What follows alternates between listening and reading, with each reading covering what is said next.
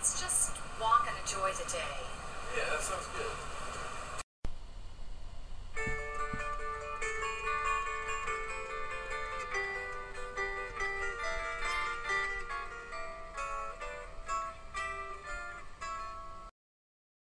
So tell me, Mr. Giovanni, what is your wife like? Well, she's the only woman I ever loved, and when I'm with her, I feel safe and happy. Oh, she sounds very lucky to have you.